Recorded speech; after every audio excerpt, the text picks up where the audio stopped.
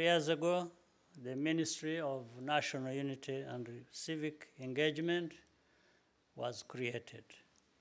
It has a very important mandate to educate our youth about our culture and history so they can play their part to speak up against genocide denial.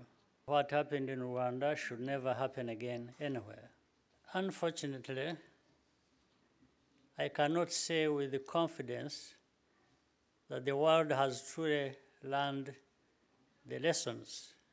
We see reason for concern all over the world. Social media has made it easier to deny the truth about mass crimes.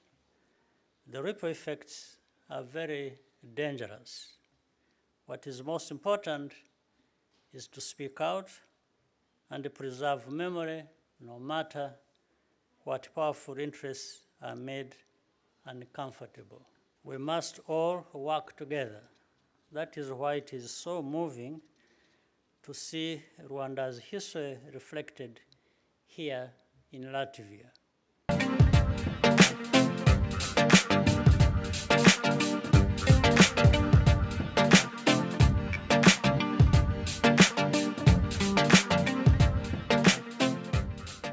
Perezida w'u rwanda paul kagame yatashye kuri uyu wa gatatu ikimenyetso cy'urwibutso rw'abazize jenoside yakorewe abatutsi mu rwanda kiri mu isomero ry'igihugu cya lativia aho yari mu ruzinduko rw'iminsi itatu yashoje kuri uyu wa kane. Navuganye na minisitiri w'ububanyi n'amahanga w'u rwanda olivier jean patrick nduhungirehe agaruka ku gisobanuro cy'urwo rwibutso.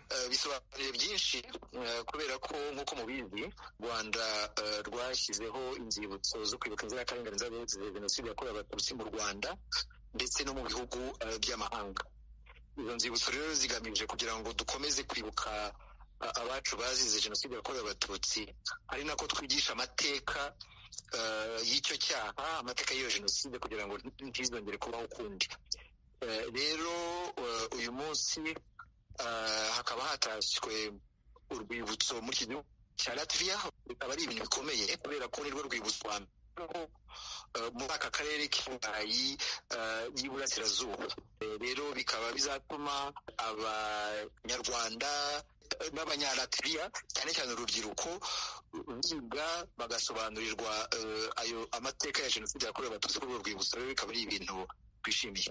Mbese uretse kuba arirwo rwibutso rwa mbere rushyizwe aho ngaho muri kimwe mu bihugu byo mu burasirazuba bw'uburayi mu bundi burayi bwo ibihugu bifite inzibutso nk'izo ni ibihe ni byinshi igihugu gifite inzibutso nyinshi n'ubufaransa bugeze ku nzibutso cumi n'esheshatu ariko hari n'ububirigi hari ubuhorandi hari ubwongereza ubutaliyani hari ubudage ubusuwisi ndetse no ku mugabane wa amerika y'amajyaruguru naho hakaba hari inzibutso muri amerika no muri canada.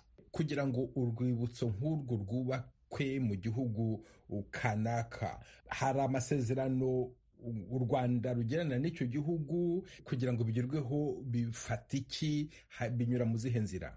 Ni ubusabe bwa guverinoma y'u rwanda ibinyujije muri za ambasade.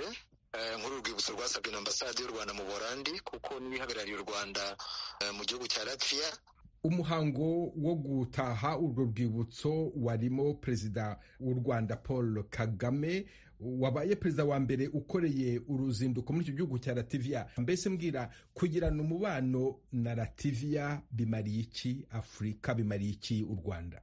Urakoze uruzinduko rw'ingirakamaro kuko nk'uko nari maze kubivuga hari urwibutso rwatashywe ariko hakaba hari n'imishyikirano yagiranywe hagati y'abaperezida bombi perezida edgar rinkevich wa latvia ndetse nyakubahwa perezida kagame akaba yagiranye n'ibiganiro na minisitiri w'intebe evikasi ndetse na perezidante w'inteko ishinga amategeko madamu dayiga miyerinya rero baganira ku mubano w'ibihugu byombi aho hari ubutwererane mu byerekeye ubuhinzi mu byerekeye ikoranabuhanga ndetse tukaba duteganya kongera kuwuteza imbere kurushaho. Olivier jean patrick nduhungirehe minisitiri w'ububanyi n'amahanga w'u rwanda irativiya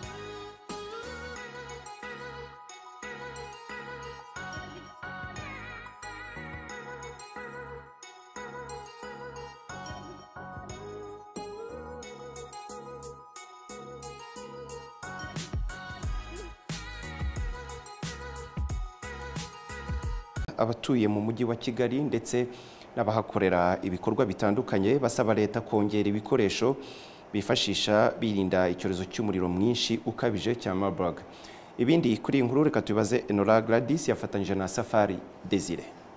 Aba bose bakora ibikorwa by'ubucuruzi bagaragaza ko ibi bikoresho bikenewe n'ubwo ku rundi ruhande bataratangira kubahiriza amabwiriza uko bikwiye. Icyifuzo gikomeye ni uko nyine amazi yaba available always. Kubera ko kuba amazi adahari birimo urumva niba abantu batonze umurongo bari gukoresha ahantu hamwe. Bimenyesheje n'ubundi ntabwo turi kwirinda neza kuko n'ubundi hari kuba contact y'umubiri ku mubiri. Niba ari ukuba dutonze umurongo dutegereje gukaraba urumva ni ikibazo gikomeye. Rero amazi yakabaye menshi kugira ngo at least ubukarabiro bwose buhari imiryango yose yinjira hano mu isoko tugerageze kubona amazi yo gukaraba ahagije. Ikibazo kiriho aya mazi n'ubundi ntamara umwanda mu ntoki cyangwa mu nzara. Dukeneye isabune.